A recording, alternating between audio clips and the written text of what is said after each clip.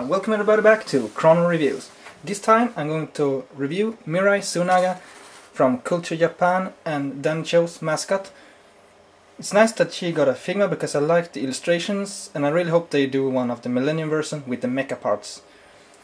Now it's a simple but nice layout with orange and white and I like that combination. I will tell you more about it later in the review. The layout is simple, art here, poses here, it says Figma, and on top there's Mirai as well. Now, Danny Choo was himself with the team and designed this package, and he really did a good job because it fit the situation really good. And um, the figure itself looks very nice. He actually have toned paint job on the hair, which I really hoped for. So I'm really looking forward to checking this out. Here she is, Mirai Suenaga from Culture Japan, Danny Choo's mascot, and I must say this figure is really nice. If you start off by checking out the sculpture, it looks very true to the character and the illustration I have seen, and those illustrations are really nice too, I really love them. And I'm also surprised that, like most Figmas, they have a little bit toned effects on the pictures, but in the reality they don't. However, Mirai have toned hair, and slightly toned here I think too.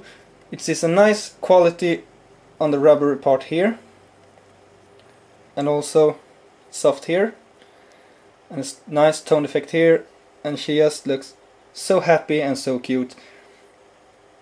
What I love about Mirai also is in the illustrations the Millennium Mirai with the battlesuit. It's just so cool. It does look, remind me so much, especially with the color scheme, orange and white, it reminds me of the battlesuit from District 9, which is one of my favorite movies.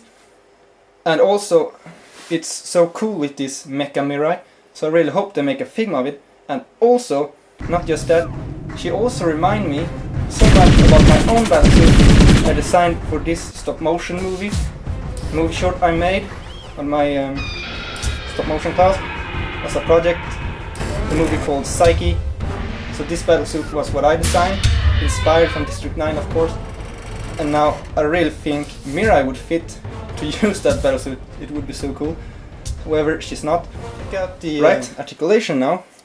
It is of course ball jointed arms elbow joints and hands exchangeable like this. So you can swivel and move like this so it works like a ball joint. The head is of course jointed on a ball joint as well. And the midsection is also ball jointed. The legs are on ball joints. There are knee joints and ball jointed feet. So this figure is nicely possible and she stands pretty well without a stand as well. However, more complex poses will require a stand.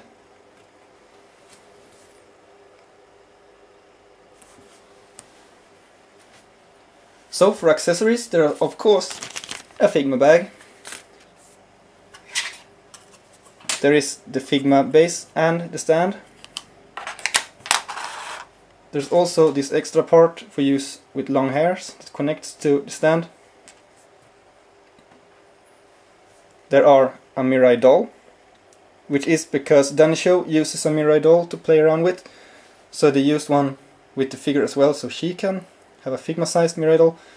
This is very nicely sculpted and the detail are very nice as well. The only thing it lacks is the eye paint, just like with Reinforced Zwei, so what with the uh, the um, Hayate Yagami Figma didn't have painted on eyes either.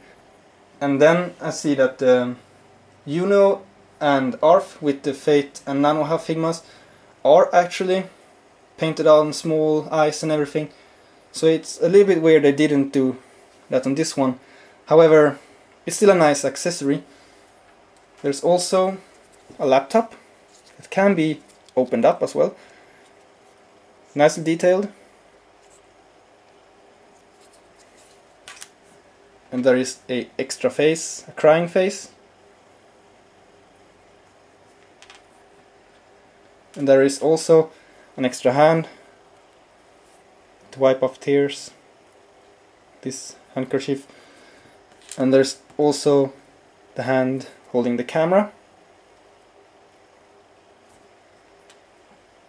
And there's a rack with extra hands, closed hands. Now this is very few hands like compared to other Figmas. So accessory wise this Figma is very lacking but the sculpture and the posability of the figure is great. No complaints on the figure.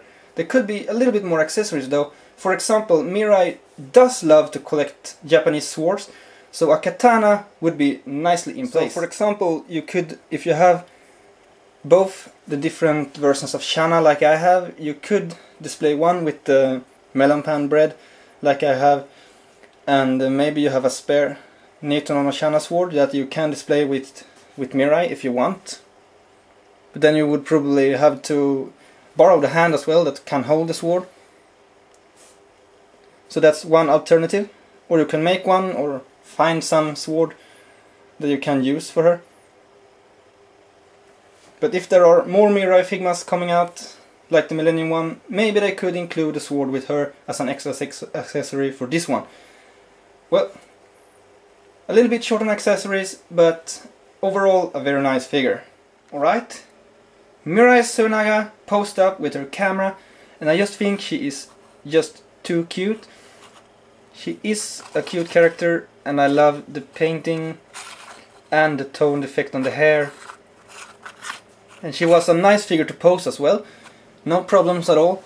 And I really enjoy this. And the size of Mirai is of course I always compare. She is about as tall as Rin Tosaka, which I have established as a quite a mid-sized, the most normal size of a female Figma, and they are about equal, so she is a mid-sized Figma of the female type. Not as tall as Aegis, for example, and not as short as the young Nanoha. She's a mid-sized Figma, and what, what was to expected about. And well, she is really cute and really nice. I can highly recommend her for all Mirai fans, of course. She are still lacking the katana, which would be nice. And uh, if you're after a lo load of accessories, she might not be the figure for you, but if you like the figure, the character, a nice smooth Figma, regardless of accessories, this is a really nice figure and I love it. I really love it. And I really hope that they will release a Millennium Mirai as well. And maybe include the katana in with that one. Anyhow, take care and sayonara. And I highly recommend her.